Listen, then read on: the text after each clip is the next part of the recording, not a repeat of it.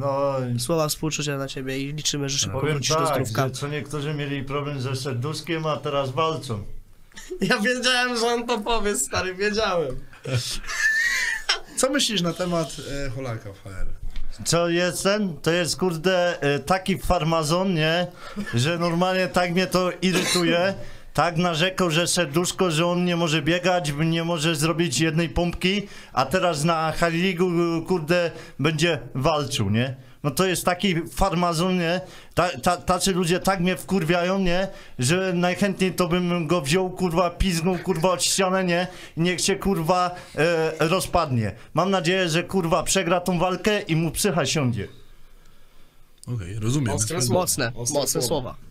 Słowa. Ale rozumiemy, bo też, e, no, Bagieta e, jako Jest przyja- inside mocno. jest mocno inside, jest przyjacielem Xayo Industries, tak? Tak. Więc y, no wiadomo, że tutaj też był w trakcie jakby tej choroby Holaka. Myślę, że też y, w, no, współczułeś Holakowi. Nie, no ja szczerze mówiąc, jak pierwsze akcje wyszły takie od Holaka, to mówię, no może, może ma rację, nie? Ale później jak się zagłębiłem tak e, ten, to mówię, no to jest wielka odklejka, nie?